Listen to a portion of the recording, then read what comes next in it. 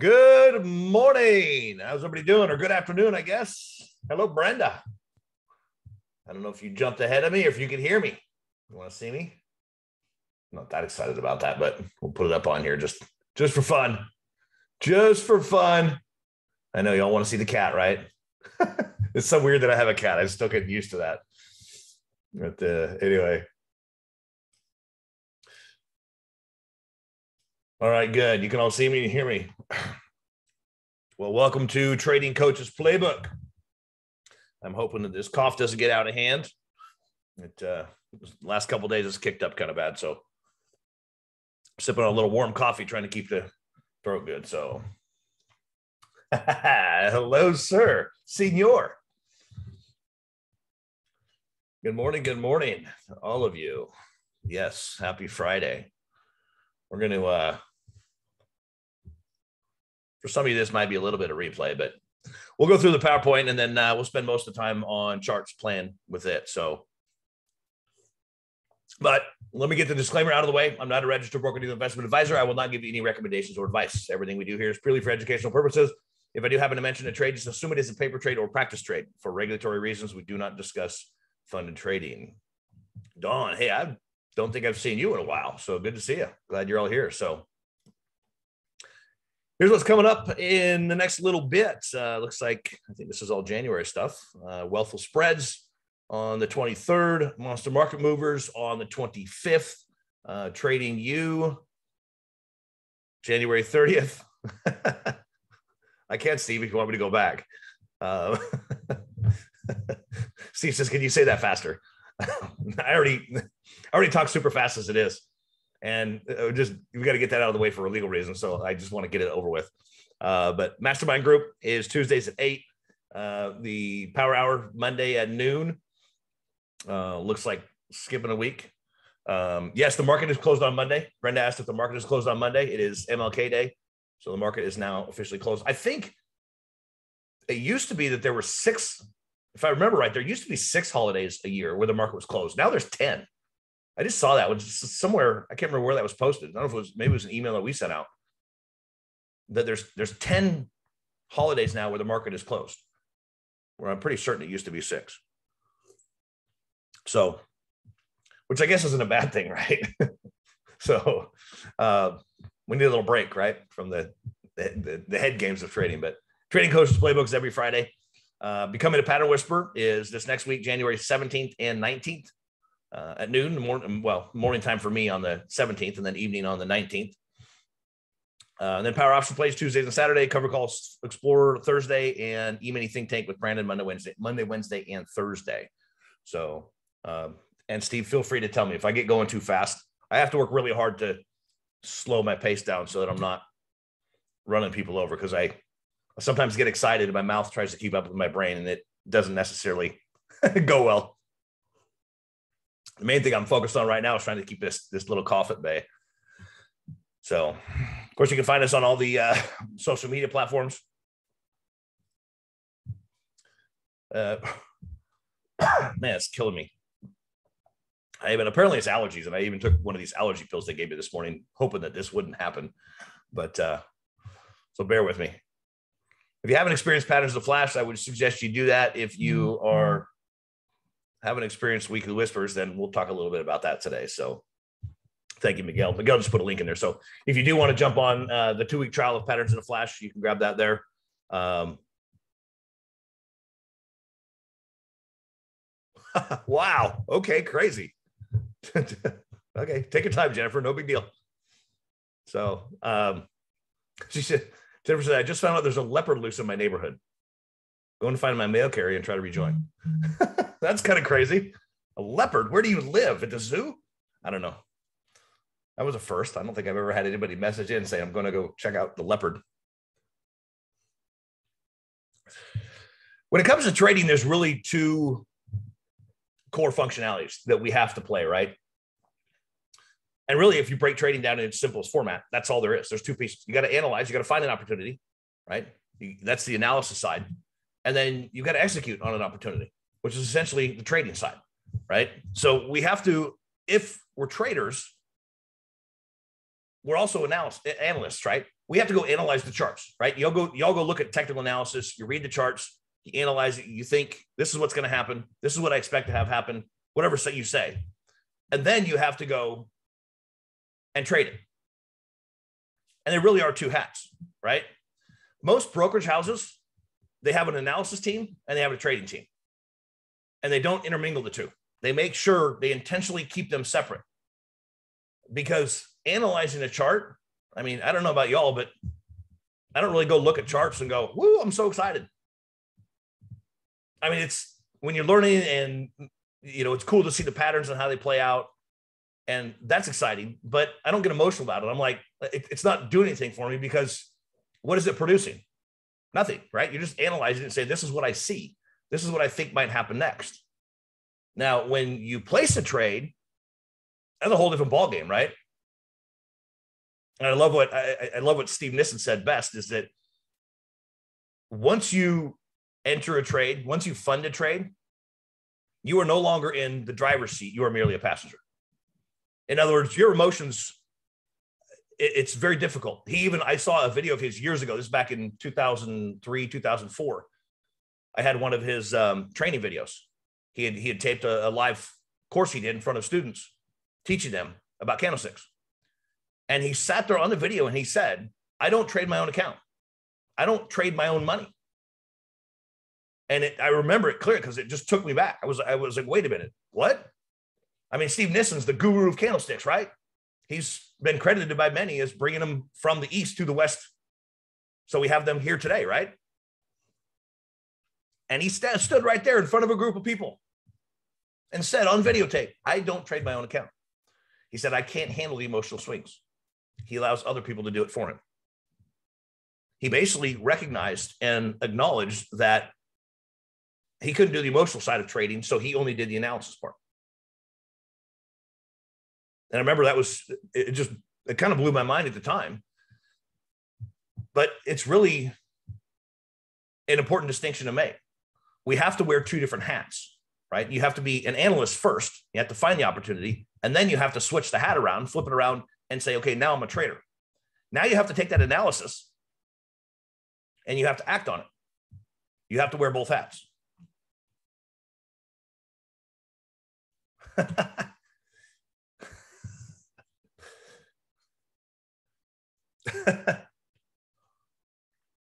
I'm glad you said that, Brendan. That was a perfect little segue. Brendan says, I need you to trade for me. LOL. Um, and that is for those of you who don't know, I know some of you were here uh, Monday night, but we just launched Weekly Whispers, right? Which is essentially um, my analysis that I do every week. Um, you get that now. Every, I have 20 to 30 patterns that I typically come up with and find and basically set up trading opportunities.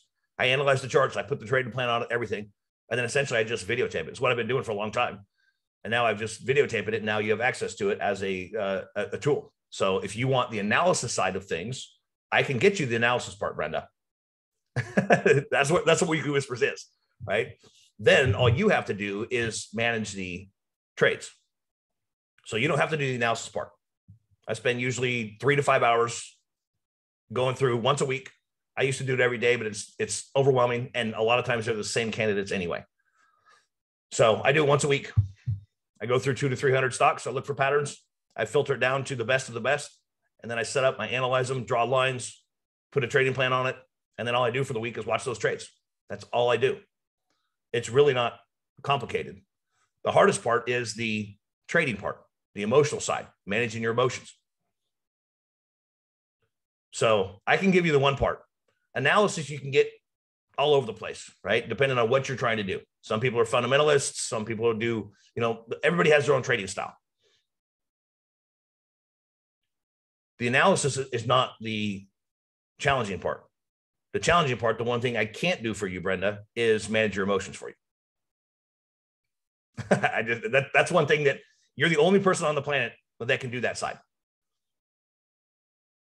But this is one big question that I think is very important to ask yourself. Um, Karen, I'm not sure what that means. Hard for a girl sometimes. I don't think the market cares what gender you are. I think I know what you mean, but yeah, it's uh, and that's one of the beauties of the market, right? It is the great equalizer. Um, it doesn't care. It doesn't care where you come from. It doesn't care what degrees you have. It doesn't care. You know, there's no little um, cliques that you can be part of. You can't be the most popular kid in town. It, none of that matters. Market does not care. Doesn't care if you're male, female, black, white, purple, brown, pink. Doesn't matter. Doesn't care what your education level is. The market is the great equalizer. So, um, and that that that's a whole new debate, Karen. and I would challenge you on that. Karen says we tend to we tend to be more emotional. I think that we all are equally emotional. It's just we display it in different ways. Right? If you go to a bar and you find a bunch of guys in there, you know, a, a man disrespects another man, what happens? You know, they're fighting, right? That's an emotional display. you know, they're taking out their their anger on each other by beating each other, right? Fighting. Women tend to, you know, curl up in a ball and start crying, right? It's still a, an emotional display. It's just a question of of how we display it. So, um, yeah, that's that's always been a lot of people say that, and I hear people say that women make better traders because they get out and they're. I don't agree with any of that. people are people. We all have the same emotions. We all have anger, disappointment. You know, you can list off all the emotions here. We all feel them. It's a question of how we respond to them. I think that's the key. It's not not that we're different emotionally, it's how we react to each of the emotions. Which is really the key to trading, right? And you're not alone, Brenda. You, everybody else in this room right now is saying, Brenda says, the hardest part for me is controlling my emotions. Exactly. The hardest part is the trading part. And that's why I say, but analysis you can get from all kinds of places, right? You can go to Rob, you can go to Brandon, you can come to me, get analysis. But we can't manage your emotions for you. We can't help you with the decisions. We can't help you decide to pull the stop and get out so it doesn't get worse. Those are things that only you can do. But here's a big question that I think is important to ask every single time when you're looking at trades. It's something that's it's been recently hitting my brain. What compelling reason is there to act? if you have you analyze the chart or you come up with some reason to trade, what reason do you have to pull the trigger? Well, I want to make money. Well, that's not a good reason to get in the trade, is it? I think it's going up or down. Market doesn't care what you think. it just doesn't. I like the company. Okay. What does that have to do with getting in now? It's launching a new product. So you know, Apple, when the uh, first iPhone came out, the first few iPhones came out, Apple went crazy when they released them. And now it's like, eh, nobody cares anymore, right? Build a new factory. I saw this one the other day on one of these Facebook posts. All these people are all talking about Tesla. Tesla just committed a billion dollars to a new factory. Buy, buy, buy. Who cares? Actually, it's a reason to sell. Because if you if you're taking money out of your pocket, do you feel better when that money's gone? Or do you feel better if you keep it in your pocket? Of course, if you're investing it and you're expecting to get a return, but still in the short time, there's a hole in your pocket. And eventually you might get it back, might be in the keyword. But if you break these down, every single one of these reasons on here, they're all based in emotion. So once you analyze the chart, the question becomes okay you've got your analysis done you i think it's going to do this i think it's going to do that and the market doesn't care what you think i mean obviously we have to come up with an idea of what we expect it to do but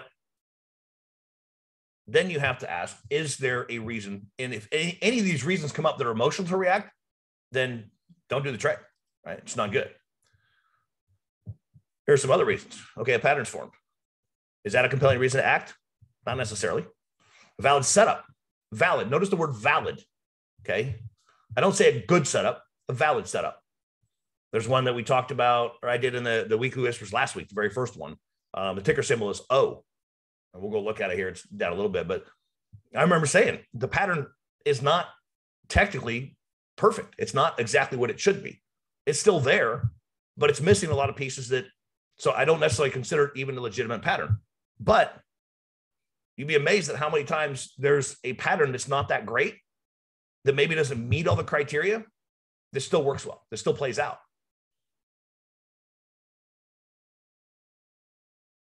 But if there's a valid setup, not necessarily a good setup, but a valid setup, then you can trade it, right? If the risk reward is favorable, that's a compelling reason to act if you got the risk reward on your side.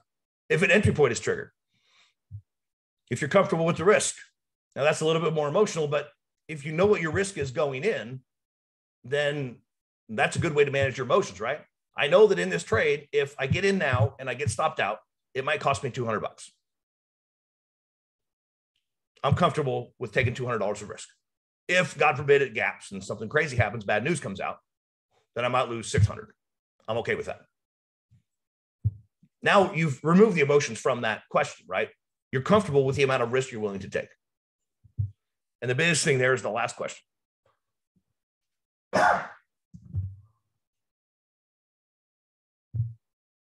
Do you trust yourself to follow the plan? Trusting yourself is very important. It's it's a critical piece. Because how many of you have gotten into a trade? You set up a plan, you had it all laid out. Okay, if it hits this point, I'm going to stop out. Lo and behold, what happens? It goes down and hits your stop. You don't have a hard order in there. You have an alert. It alerts you and it says, You're at your stop, get out. And what do you do? Um, I'm going to wait. I don't want to lose. Hold on. And what happens? Okay, I'm down 200 bucks. And then you're down 300 bucks. Like, ah, oh, it's not good. I should have gotten out. Should have. Then what it should have, could have starts to kick in, right? That whole syndrome is deadly. You should have gotten out. Well, yeah, you should have. But then what happens? You say, okay, well, if it gets back up to 200, I'll take my loss. It goes back and hits my stop, I'll get out. It keeps going. Now you're down 400. Oh, I should have gotten out 300. If it gets to 300, I'll get out. Then you're down 600. Ah. Next thing you know, you're like, when's expiration? Can we hurry up and get expiration here so this thing gets out of my account because I don't want to stare at it anymore? It's frustrating me because I should have gotten out. And you know what happens then? Not only did you break your rules, but you broke trust with yourself. If you tell your wife or your kids, hey, we're going out to dinner on Friday night, and Friday night rolls around and you work till 10 p.m. and you don't go to dinner, you don't take them to dinner like you said you were going to, are they going to be upset? Yeah. Next time you tell them that you're going to take them to dinner, what are they going to think? Well, he didn't do it last time. Why would he now? Right? uh, I love it, Amos. You have no idea how many times I hear that. Uh, Amos says, dang, how can you read my brain like that? It's so right. Because if you if, if, you don't know me, I teach from experience because I've been down that road many a times, too many times. It, it's kind of embarrassing to admit, right? But it's human nature. It's what we do, right? But and that's one of the reasons I've learned it's so critical that you get to a place where you trust yourself to make a good decision, regardless of what you made a decision before you enter the trade. Stick to that plan because that one that you have expire um, is going to put a massive hole in your account, probably. Okay. And I've done it. I've blown up a couple accounts. Most traders that I know that have been doing it for more than a decade have blown up an account at least once, if not multiple times. It's uh, trading is not easy. It's one of the reasons we're talking about this is you got to separate trading from analysis. You do the analysis, then you got to learn to trade. But that's what happens, right, Amos? And I'll give you another brain read. The next time you get into a trade, you set up your plan. You say, okay, there's my stop. In your mind, you're like, wait a minute. Just like the wife and kids going, are you really going to take us to dinner?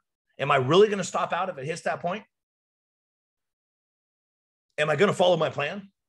Do I trust myself to do what I said I was going to do? Because last time I didn't.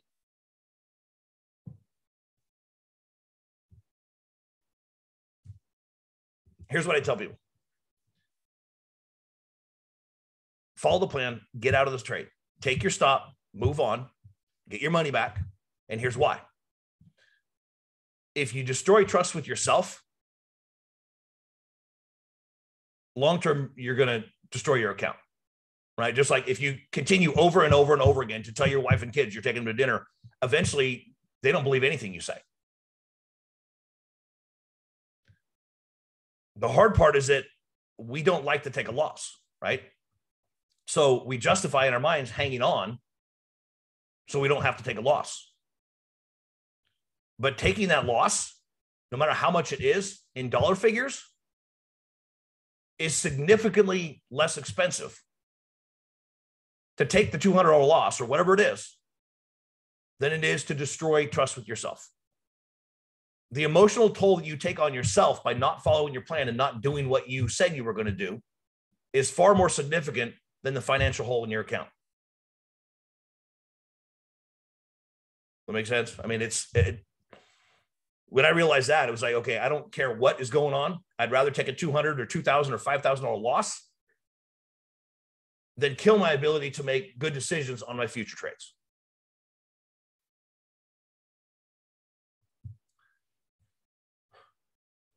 Oh, Brandon, I, I just remembered your Brandon. Brandon says price, price for Tesla is supposed to decrease according to talking heads. Yeah, talking heads. When the talking heads usually say something, do the opposite for the most part. Right? Whenever Cramer says something, do the opposite. he's a good entertainer, but his analysis is often off. And he's kind of got that reputation in the industry. If Cramer says to buy, then sell. And that's eh, eh, eh, that's another point is be careful who you listen to. Right. I tell people don't even listen to me. People come and say, Well, you're an expert. I hate the term expert. That implies that I'm going to be right and I know everything about it. And I don't. I got a 50 50 shot just like you do. Just because I may be able to analyze the charts better doesn't mean that I'm going to trade better, right? There, there's two different ball games. They're almost two different planets, really. So I don't know what the liar liar part's about, but I got the sarcasm trip. Yeah. there is no there is no sarcasm sign, is there? Trip says I've never blown up a account either. See sarcasm sign. Um, Brenda, you were not alone. Uh, let's let's do a quick little poll among everybody. Brenda says sometimes I think I'm not cut out for this. Me too. Trust me, you're not alone. Everybody, everybody thinks that at some point. You're gonna have good days and bad days, right? It's not much different than anything else in life. You know, whether you're, you know, you go to a job in your marriage, you know, raising kids, you second guess yourself, right? It's natural. It's what we do. But what you have to do is keep reminding yourself of why you're working at it. I mean, if you have an issue with your kids or you have marital issues, then you go about figuring out how to adjust and adapt and correct things to get back on track. Trading's no different, right?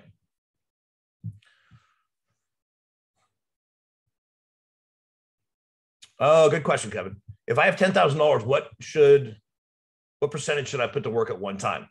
Um, I have a rule for myself. I mean, obviously, the market's kind of like the Wild West. You can create whatever rules you want. Um, myself, I typically, well, I have a 10% rule that says I won't put any more than 10% of my account into any one trade. Right. That way, if one goes haywire, because sometimes news happens, right? And you don't expect it, you don't know what's going to happen. And it puts a huge dent in that one trade. Well, if you have no more than 10% of your account into one trade, then it doesn't hurt that bad, right? I mean, the most you're going to do is put a 10% dent in your account if it goes to zero. Um, generally speaking, though, well, and, and that's where there's two different questions kind of that I'm, I'm pulling from that. Um, so that's my rule for maximum into a trade. Now, obviously, if you're working with you know a thousand dollars, that's a little more challenging to only put a, hundred bucks into a trade. It can be done. There are stocks you can find that you can do that with. So if you have the discipline to do that and you can, I say do it. You might have to, though, if you're working with a smaller amount, you might have to bump up that percentage in the beginning, you know, until you get to a spot uh, because $100 is, is, is pretty thin to put into a trade. Um, it's possible. Like I said, it's possible. It's just much more difficult. Um, I mean, with $10,000, I think that's reasonable. And I know you're just throwing it out as just an example, but um, I mean, that gives you a $1,000 in a trade. If you put a $1,000 into a trade and you're getting 60, 70%, rate of return if, if it goes the direction you want it to, you're in good shape, right? Um, but as far as how much capital to, to deploy, do you deploy the entire 10 grand? I typically stay right around 50%. I like to have cash on hand in case some opportunity pops up that is compelling. Um, right now, I'm in 100% cash. I just closed out my last position. I took a small profit on Coke and I'm in all cash right now because I, this market is just I, it's it's hard to tell what it wants to do or it might do next. Um, it looks like it wants to go bullish. And last week, almost all the candidates I had were bearish, and now this week they're almost all bullish. and there's some good solid patterns. Yeah, I, I usually keep uh, about 50%. There are a few times this last year, there was a couple times when we had a really nice, really, really pretty setup where I loaded, I was like 95 or 96% deployed. But that's rare. Usually I'm, you know, half to two thirds, generally speaking, is about all I, I will have active in at one moment. Does that make sense? So 10% rule. And then usually half to two thirds is about all I have deployed. So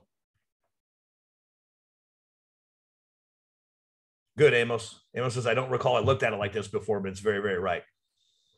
Well, that was that was again one of the reasons that I wanted to hit on this because it is it's a critical thing to recognize. And I'm assuming you're talking about the, the two different hats, and you've got to learn to separate the two. So okay, good. Everybody's yeah, everybody's been there, right? Yeah, you're not alone, Brenda. Kevin says, yeah, me too. Trip says me three. Amos' hands up yeah, you're not alone. you never will be. So, do I have a scan for cheaper stocks? I used to, Kevin. I used to have two different scans, and I, I essentially combined the two. Where um, I guess it depends on how you define cheaper. Are we talking like you know 50 cent dollar, two dollar stocks? Or are we talking 15, 20, 30 dollar stocks? Um, so I'm not sure. I'm not sure how you define cheaper because I see, you know, a lot of these Facebook groups are funny. I see these guys, they go buy 10, 10 contracts of a nickel, nickel option that expire in three days. They're throwing 50 bucks at it. It's a Hail Mary, basically. So um, Brenda said, thank you guys for the encouragement to everybody that raised their hands and said, yes, that's me too. Yeah. Um,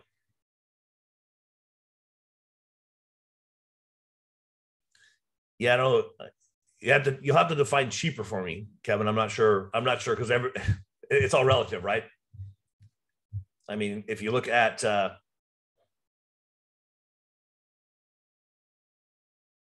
that's okay. I'm just not. I'm not clear on exactly what you're defining. So give me a, give me a little more specifics. I'll I'll come back to that. But so here's an example. This is why I look for patterns, right? Here's Home Depot, an example. A nice double top pattern shows up. We create the plan. We got the stop. We got the target. We put those two numbers into the risk reward calculator. We got five bucks of risk, 15 bucks of upside. So we have three times as much profit potential as we do risk. And boom, what happens to Home Depot? It tanks. You're looking at a six to eight percent move in about a week. That's going to be a nice, healthy profit if you're trading an option, even if you're shorting the stock. That's a good setup. But notice that I had a plan in place. And all I did, I analyzed the chart I find the pattern, analyze the chart, set up a trading plan, and then I just follow the plan. Let whatever it does, it does. It's going to do its thing, no matter what happens. Right. But it is absolutely critical that you separate the analysis part. You take the analysis hat off, you do your analysis first, take that hat off. Now I'm just going to trade based on that analysis. Now, now you've got to manage the trade, you've got to execute it. And the most important part is managing your emotions. The one thing that we all do, right? You start second guessing your analysis. You look at the chart and then something changes and you look at it, you go, oh, well, what about this? What about that? And you start to second guess things. You can't do that. Even if your analysis is off, so what? That's how we learn, right? If you go back, you do a trade, and that's one way I learned years ago 21, 22 years ago when I first started trading, because that was a big question that we always asked is how much time do you go look at? Do you look at three months, six months, a year, two years worth of the chart? How much of the chart do you look at? And I remember numerous times when I started trading, I'd get into a trade, I'd look at six months or years worth of time, analyze the chart, and then go place a trade and get stopped out. And then, like, well, what happened? Did I do something wrong? What's what did I do wrong? And then I'd go look at the entire history of the chart. Oh, well, look at, you know, five years ago, there was this massive support or massive resistance at that spot.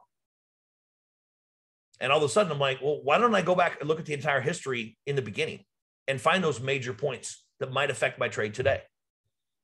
And if you're using Omega charts, then it's really super simple, right? You just hit a couple of keystrokes. You can see, I mean, you got D for daily, W for weekly, M for monthly, Q for quarterly, Y for yearly.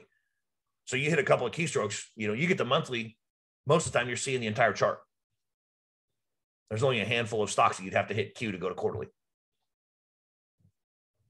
So learn to analyze things well. You don't have to be perfect. It never is anyway. And then stick to the analysis. All right. Should we go play now? And let me make this a little bit bigger. Where we at?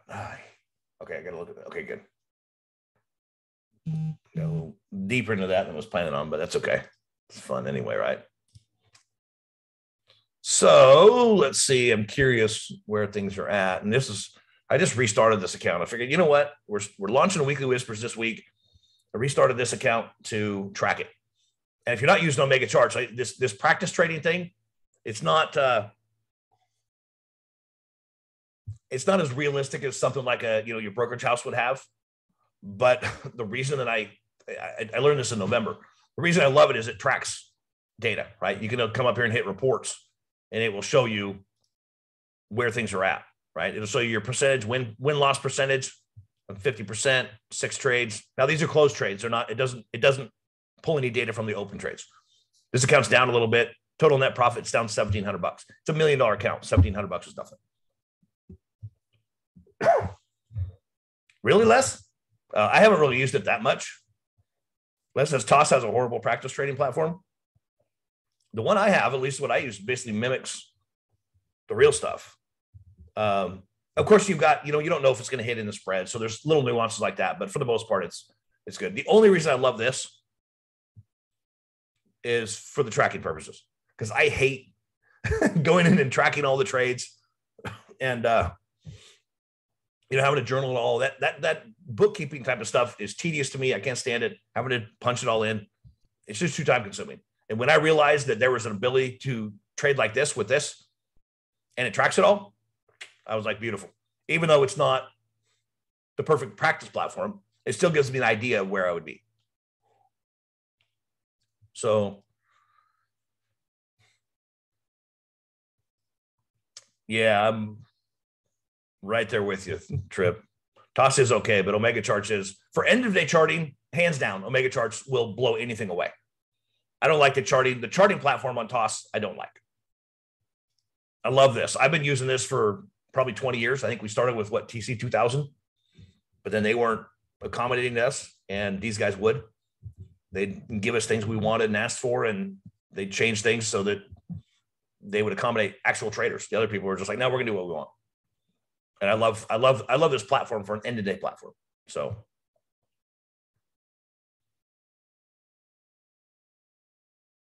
Yeah, exactly, Darlo. the practice platform doesn't make them any money. It's a marketing tool, right? To be able to tell people that you know, I would imagine there's just some, I mean, I know coding and stuff is hard, but they got to change some stuff on the back end. I mean, I, I would imagine they could just duplicate the real platform and just take the money portion out of it. But I don't know. I'm not a developer or a coder.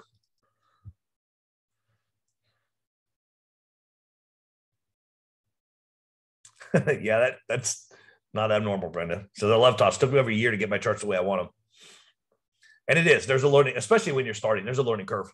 You know, once you've been doing it for 20 years, like I have, if you switch from one platform to another, it's not that difficult. You've I've used probably 15 or 20 over the years, and uh, you know they they've all got their little nuances, but for the most part, their functionality is the same. So yeah, a lot of duplication and redundancy. So, so here's Cognizant. There, there's a, um, I guess you guys are gonna get some freebies today. there's a nice, nice looking inverted head and shoulders. So we'll see how that that is uh, right there. In fact, that's one that I triggered this morning. But here's the issue with this, and this is one of those things, you know, from a, a in the mindset perspective side is when you look at this thing, and we were literally 54 just about three weeks ago. We just hit 68 yesterday. What are the odds of this thing continuing to run like it has been? Because when you look at previous rallies, you got, you know, this rally here from 54 up to 62, and then it dropped. I'm assuming that's earnings right there. It must be.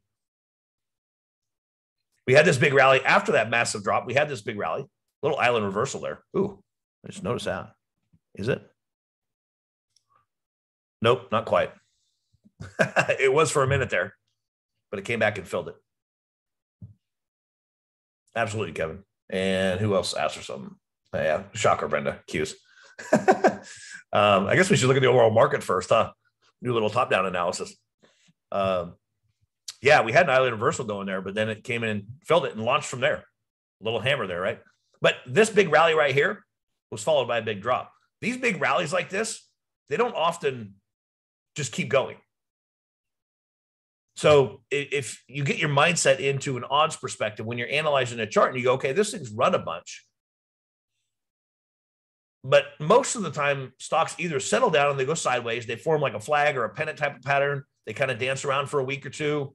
And it's like catching their breath, right? And um, thanks for the reminder, Trip.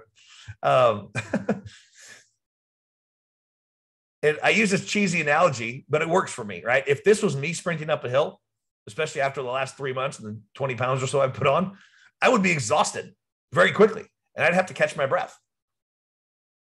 And stocks aren't much different. If it rallies like this, the odds are that it's either going to go sideways or it's going to have a retracement before it continues to rally.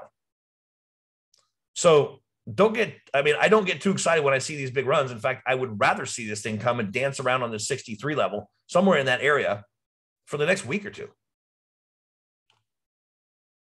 But here's where it gets interesting is what happens if it does keep running? And here we'll put the trader hat on now and, and try to think like a trader. Do you want to miss it? No, of course you don't. So you think it might continue to run to the 70 50 target, but you also think the odds are that it will retrace back. How do you balance that out? How do you deal with the fear? The fear is that it might pull back and I take a big hit and I get stopped out. The other fear is it might run without me. You put those two fears on the scale, how do you balance them?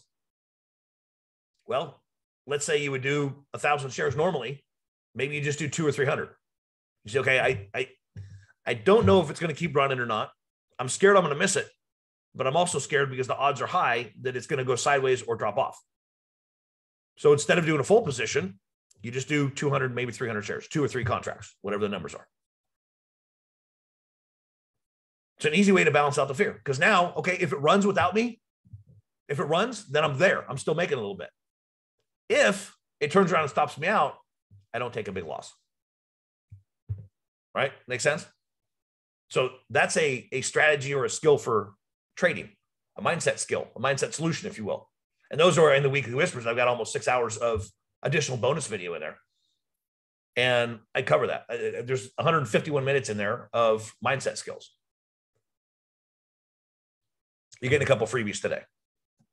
Um, where is that one? This is one, the one I was talking about earlier.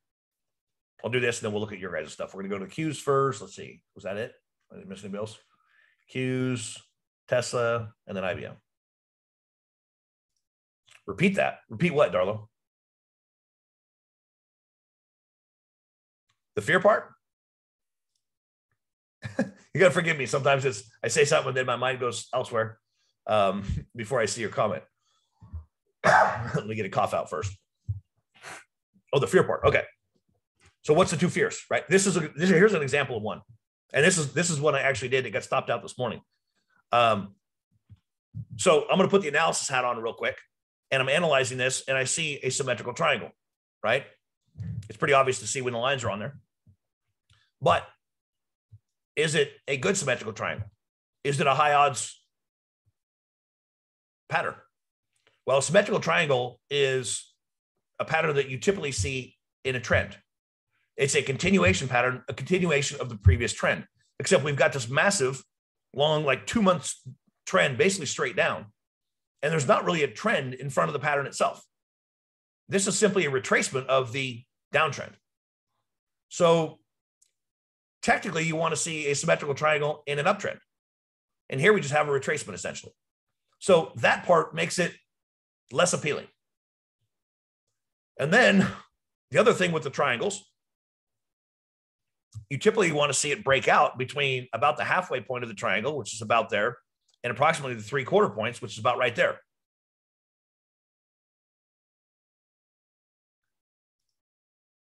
And this thing for two weeks was just going right into the apex. It was just sitting there dancing, wasn't doing anything.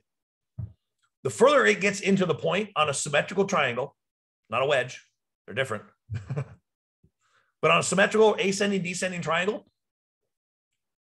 it should exit the triangle by the three quarters point. The further it goes into the point, into the apex, the weaker the pattern becomes. So, sure, we've got the pattern, but it's not really in an uptrend. And it's gone so far into the apex, I'm not that excited about it anymore. But I still had a plan on it. I thought, well, if it breaks out, what do you do if it does? Here we go, Darla. This is this is where I'm going. I had to prep it up there. It's not a great pattern. I'm not in love with it. There's all kinds of problems with it. It's not that strong. It's getting weaker and weaker. And you have two fears, right? I'm going to miss the trade, or it's a weak pattern. And so if I do get in the trade, I might get stopped out. How do you balance those two? How do you how do you address that fear? Because that's the driving thing that, that makes all of our decisions, right? Is fear, the fear factor. People say fear and greed. I think the greed part is just the fear of missing out, the FOMO that everybody likes to call it now. That's greed. You say, well, I don't want to, I don't want to miss the trade. I, I want to make money. You're scared you're going to lose out on opportunity, right? So how do you balance those two things? By taking a smaller position. You say, well, the pattern's not that great. It's the odds aren't that great. So instead of taking a full position, maybe you would do 10 contracts or a thousand shares, whatever you're, whether you're trading stocks or options. Instead of trading a full position of 10 contracts, I'm just going to pick up two or three. So you take the analysis side that says there's a pattern. It's not that great of a pattern. I really don't love it. I'm not that convinced it's going to move big. But then all of a sudden you switch into trader mode and you go, but I don't want to miss it. And the emotions kick in. You go, okay, now I flip the hat around. Now I'm trading. What am I going to do with it? Just execute on the trade, right? But the analysis says it's not that strong. So you cut down the position size. So your risk is smaller. So if it doesn't play out, since the odds are that it may not, now if it stops you out, it doesn't hurt as bad. In this case, I did, uh, I think we, I think I can get in there and see. I'm still learning where some of this stuff is. Uh, trade. So here's the O trade. Can I open that? No, there's a, I think it's a journal. When was that? Yesterday? This is one of the things I love too. You can save when you go place these trades, you can save the charts and it shows you everything you did. There's, oh, there's, oh, there's sell at 60. Yeah, this got triggered this morning.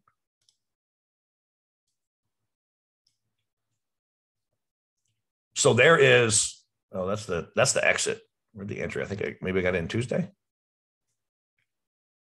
There it is. Oh, that's just an order. Buy 500. Did I hit 565? Buy 500. Oh, it's 6531. Stop. I don't know if it hit or not. Okay, so this is one I put in. So this is what I was looking at before, right? I mean, you can see what it's done now. Move this over a little bit. Well, I can just go like that. Know if it's on the screen. So you can see what's happened now, but this is what I love about this practice problem. I can go back and say, okay, this was on 110 at 833. And this is what I was looking at. So I did the analysis, same. You can see that hasn't changed. But I put an order in for 500 shares. So that, well, if it hits it, buy 500. It didn't trigger it. I don't think it did. So then that was then Wednesday, must be in here somewhere. There's Coke, Abbott, there it is. So here's by 300. Because I looked at it and this was 659. So this is just 30 minutes after the open. I'm looking through charts going, well, what am I going to do with this? Okay. Well, it looks like it's starting to break out of there, above there. Maybe it will go. This is what I was looking at at the time. And I put in an order for 300 shares at 65.31. right? Buy it, buy 300 at 65.31 stop. So it's a buy stop. So if it runs up to that point, it's going to hit it. And it did. And there it is actually um, 1001. So this was at 7:14 a.m. 1001. It filled. Uh, I haven't figured out how yet to save on the autofills like that to save the image. But then I went in, I noticed it filled it. I didn't even know it did at the time. But I went in and I put a stop at what is that? 1059 a.m. self stop. I don't know what is 6609. Oh, I'd moved it up. Yeah, it had run far enough. It made sense to move the stop up. So I put, yeah, there it is. Okay. So here it is at 1044. And this is where I put the stop at. I don't know where was it. I don't know what that number is. 6609. That doesn't make any sense. I don't know what that is. But then it hit this morning, it, it stopped out. I can't play now, Kitty. Busy. She's coming to say hi. Oh, we're on Friday. Yeah. So this morning it stopped out at 66. I just moved the stop up as it ran because it ran big that day. The next day it ran up too, and I moved it up to, I think I put it on like 6601 or 62. So it stopped out this morning, but who cares? I got in at 65.31, got out at 66. So 70 cents. Not a killing, right? But that's 70 cents on six. It's about one or 2%. I don't know. Where'd she go? She's in the mood to play. she brought me her toy. She's like a dog. She'll bring something. She'll jump up on the desk. She'll drop it. I'll throw it for her. She'll go retrieve it and then come back and drop on the desk again. It's pretty hilarious. Anyway, um, yeah, I got to speed up a little. Um,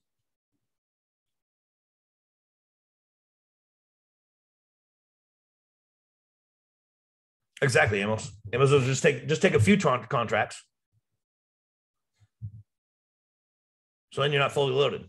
Exactly. That precisely the point, which is what I did. Normally I would do 10 contracts on something like this, but I just did three because the pattern, the analysis says it's not that strong of a pattern. The odds are that it's not going to move big. So don't take a lot of risk. But at the same time, I don't want to miss it. Right. So instead of doing 10, I would do three.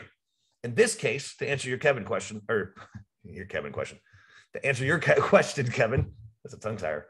Um, I tried, there is, there is options in here in the practice platform account but it doesn't work that well. Sorry, I got to get rid of her. there, go get it. Um, I, yeah, I played with the options a little bit so that I could try to mimic it uh, as close as possible, but they really didn't trigger well at all. So I basically have set up the weekly whispers account I set up as a million dollar account to mimic a hundred thousand dollar options account. Um, because basically you're getting you get about a 10 to 1 leverage on options, right? For every one percentage point the stock moves, you get about a one, a 10% move in the option. So if you get a 10% move in the option or in the stock, you're getting about a 100% move in the option, right? So I essentially set these up, and the pattern of the week is a hundred thousand dollar account to mimic a ten thousand dollar options account because the options really just did not trigger well at all. And I don't know what it looks like as far as data goes, and I didn't want to mess with it. So does that make sense? So in this case, I would have bought three contracts instead of 300 shares. So you just have to mentally calculate out that, okay, it would have been three contracts. All right, let me jump to your guys' now that I've little bit off rails. Uh, the Qs, that's what that's for. We're just updated. Yeah, the Nasdaq is still kind of stuck in this range between you know 2900 and 2600. So it is, uh, yeah, it's essentially just going sideways this morning banks came out and said things are challenging. They're, they're, they're thinking they're not going to be as bad as they expected, but there's still headwinds ahead, is essentially what a lot of the banks said.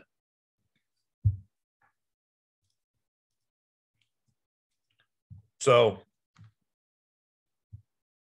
if we go back and look at the long-term chart, it's not unfeasible.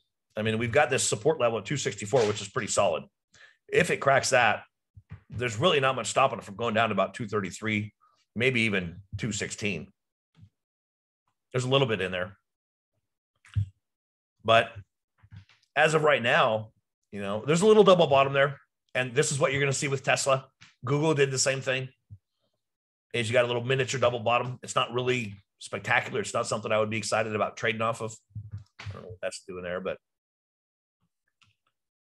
so the question becomes is, you know, again, here we've got a five or six day run, which is pretty significant. What's going to happen? Look back here and you look at previous moves. You've got this move, which I think this was CPI. Yeah, this was CPI but it moved really heavy for four or five days. And then for a month, it went sideways. So we've got a four or five day run here. If we get another move to the upside, we're probably going to see some sideways action or a retracement. Same thing here, right? We came down this 264, boom, we run for a week or two and fall right back a week or two later. So same thing here. We got to bounce, and uh, this is very similar. It looks a lot like what we have now right? I don't know that we're going to get. I can't remember what news that was. There's some kind of news catalyst that did this. This might might have been CPI as well. Is the mailman okay?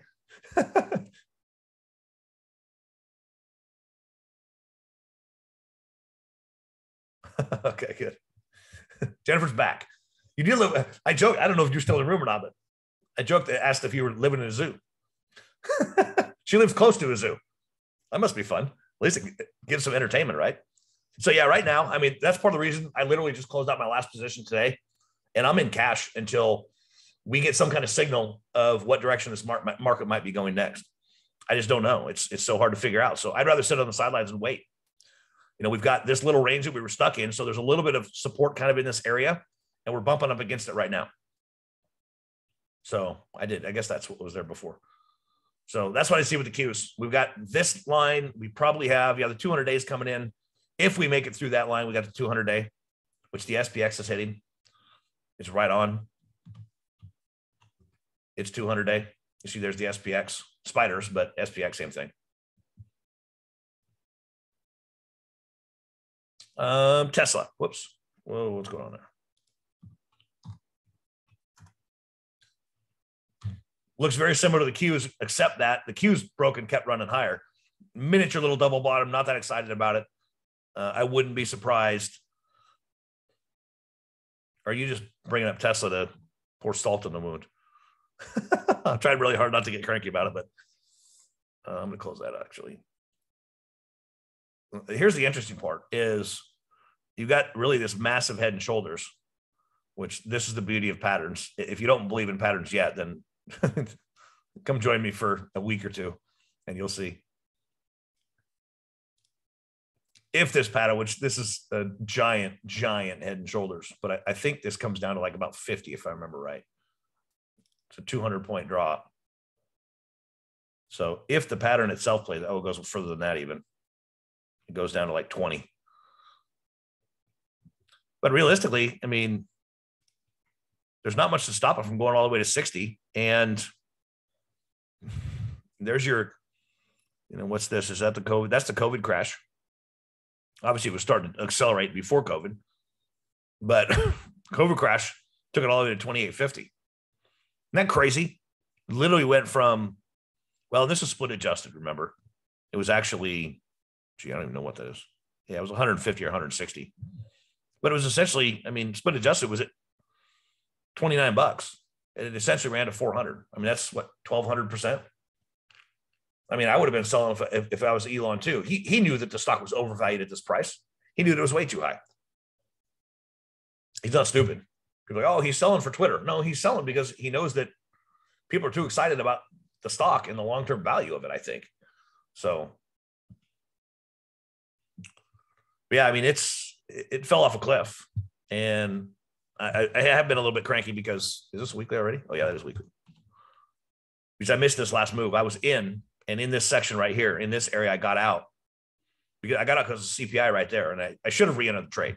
It was good to get out. I made a good decision to get out of the trade, but I should have re-entered, and I didn't. And so I was cranky that I missed this. But I caught a lot of this. I caught uh, pretty much all this move. I caught a piece of this move. So I'm not. I, I shouldn't be. I need to remind myself that I got some good chunks out of Tesla. So I can't complain too much about it. But as far as what's happening next, you know, I'm looking at this. I've got a, a potential if it breaks north of this, these little highs that it's been hitting in the last week or two. If it breaks north of that, I think there's a decent chance of a rally. How far, how fast, hard to say. And I think a lot of it would probably be based on short covering. That's where when you get something that's sold off this hard, I mean, we're down 60% in the last three, four months. There's a lot of people shorting this stock here. And if they start to get squeezed, it's probably going to pop some. So that's where I'm, I'm watching it for a short term, you know, one, two, three day pop to the upside. But they've also got earnings coming up. So, you know, we just started earnings season. So you got to be cognizant of that, obviously. Um, IBM, you know, and I'm just going to kill all that we'll start fresh. Uh, is that General Mills, Gregory? I think that's what you're asking for. Okay. I'm gonna hustle. Only got a, only got a few minutes, so IBM long term. There's weekly. This is when you probably have to go back to quarterly to see the whole thing. Yeah, but I'm not going to do that. So I'll go back here and I'll draw all the major spots that I can see. Yeah, that's basically. I'm going to let my OCD win right now. Whoops, weekly. Well, certainly a uh, bullish bounce. You see a breakout of that 140 in a big way. And then it dropped off and dug right in. Um,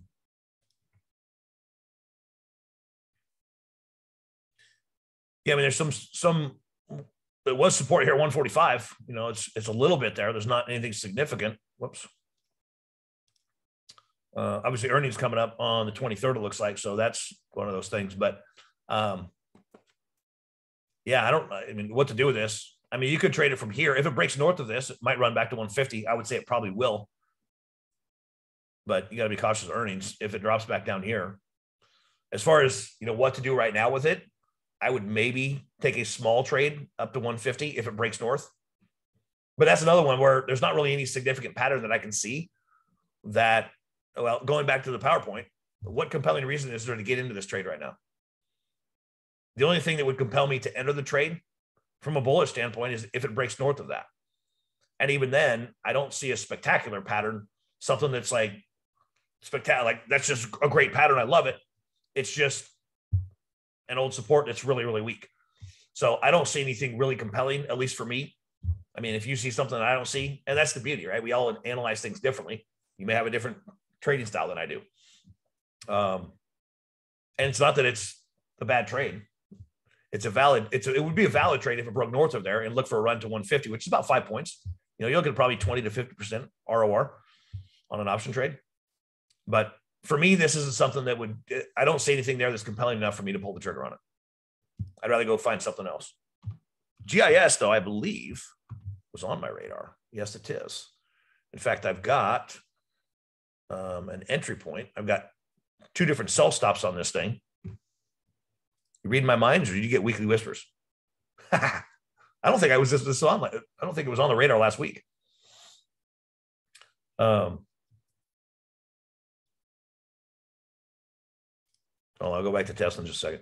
So here's what I see with GIS. This is an all-time high, I think. Yeah, we're at an all-time high on General Mills, which is rather interesting. And you can see the longer-term trends that's in place here well, not super long term, but over the last two or three years. But we have kind of a descending triangle, and typically you would see this in a downtrend. It's not a topping pattern. It's not a. It's not one of those. Uh, but just because, like I showed you on O, right? Just because it's not the perfect textbook pattern doesn't mean that it's not there. It doesn't mean that we can't utilize it as a potential for a trade. Do we put less stock in it? Maybe take a smaller position because it's not as good as some other ones. Absolutely. Right. It's not much different than if you're a poker table and, and you get, you know, a pair of deuces, which would you have? A pair of deuces or a pair of aces? This right here is like a, a pair of fours or a pair of fives. It's not that spectacular. There are some patterns though that, okay, I have a pair of aces now. Now you have the odds on your side, right? But there's essentially what I see is, and you've got a very solid. I mean, this thing is dancing on that line, that 8250 line, and it's held it very well up until now. And we've got a very solid, I mean, it's, it's very short term, but at the same time, this thing is on that line. It's hit it one, two, three, four times. So as soon as it hit it here, we had confirmation that the downtrend line is good. We got another confirmation here. Now we're challenging the support. if it breaks down, mm-hmm. I would venture to guess it's coming back down to this this trend line, which also would be the measure move if it was the textbook pattern. So, in fact, I've got two different trade out here on 8232, and this is this is another thing. If you want to talk about controlling fear, this is one thing I talk about in Weekly Whispers all the time. Um, I talk about it everywhere all the time. I've got an order to sell 300. I don't know if you can all read that. It's really small, I'm sure, for you. Up in the left corner, sell short. Basically, I'm shorting it, which I would be buying puts if I was doing an option, right? Sell short 300 at 82.32. The entry point's 81.89. But if it cracks, I think I went off of this low. Yeah, the low of the low of yesterday is 82.36. So I thought, you know what? If it cracks the low, I'm gonna stick my toe in the water. I mean, do you ever go to a strange pool or a strange body of water and not make sure it's deep enough if you're going to dive, or you stick your toe in the water to find out if it's the temperature's okay? Yet we come to the market and we just dive in head first, not knowing how deep the water is or if it's even warm. So why not just stick your toe in the water first to find out? And that's what I do often. So I'm going to buy or short, excuse me, I'm going to sell short or buy puts is, is what I would do in a funded account at 82.32 if it cracks this low. And then if it hits the 81.89, I'll add in a full position. I'll go 700 more. I'll add 700 for a full thousand shares or 10 contracts at 81.89 at the actual entry point. And again, going back to that fear thing, it bounces out the fear because if it just barely cracks down and I get in just like it did here, right? It came down. And if you got in right here at the 82.32, then you get stopped out, but you have less risk, right? Instead of 81.89, you're saving yourself 50 cents of risk. And you also add 50 cents of extra profit potential. So you get in with a small position. So if it just if it moves down just a little bit, it puts you in, but it's only 300. If it continues, by the time you get to 81.89, you're already in a little bit. You're already profitable on some of it. So now when you get in, your cost basis is, isn't 81.89 on a thousand shares. It's more like 81, probably 70. If you get in at 81.89 and your cost basis is 81.70, you're already profitable. Now you could theoretically, if you wanted to, even move the stop down a little bit lower. In this case, I probably wouldn't, but in some cases, that's what I would do. Now you're in a full position and you're already ahead of the game, right? And now you're feeling better because, hey, I've already got a couple hundred bucks of profit and I just entered a full position instead of waiting to enter the whole position at that spot. Does that make sense? Okay, Amos, I'm going to look at this real quick and then we got to call it a day. Weekly uptrend line that is on Tesla. Oh, on the weekly. I'm going to get rid of that thing, I think. Are you looking at semi log?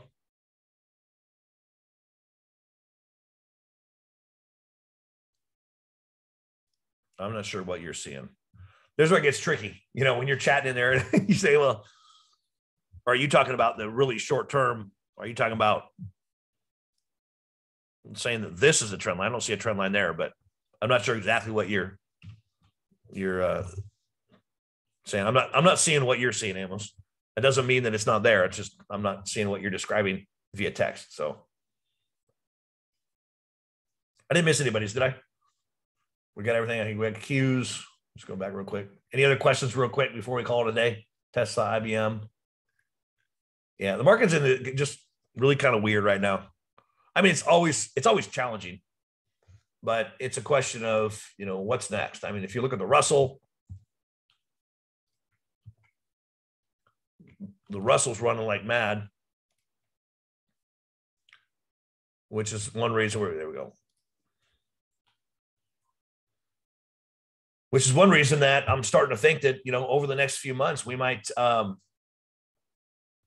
we might be bullish. I mean, the Russell, even though it's not necessarily correlated to the other markets, if you go back and look at, is that, yeah.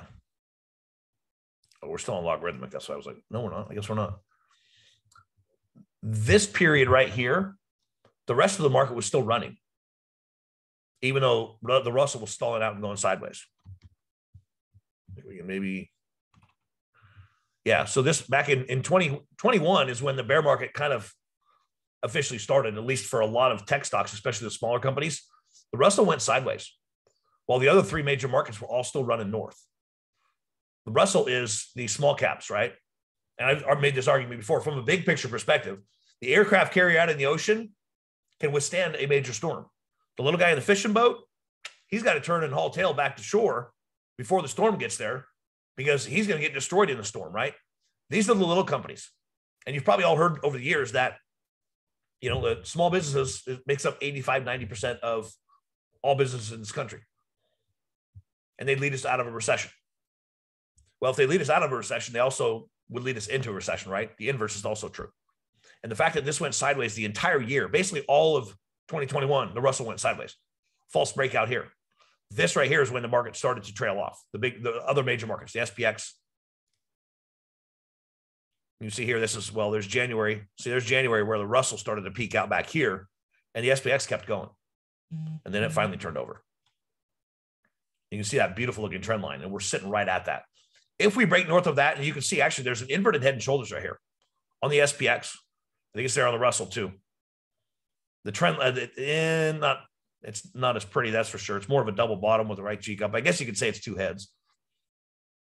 But this is if if we break north of this, then yeah, actually, I think we might we might run. I mean, that's considering I've been bears for a year and a half, two years. It's mm-hmm. sometimes it's hard to change that opinion and be like, yeah, I don't know if that's really going to be, but I mean, we're looking at probably running to, you know, we, we could come up and challenge that high again. I don't know what just happened there. I think that's a stretch based on you know the macroeconomic picture, but who knows? The pattern's there. Question is, will it play out? The Nasdaq is not there yet, though either. The tech the tech companies are still just beat down, and I don't know that that's going to change at all either. I think this is probably this might lead us further down. I, we never know. That's why we look at patterns.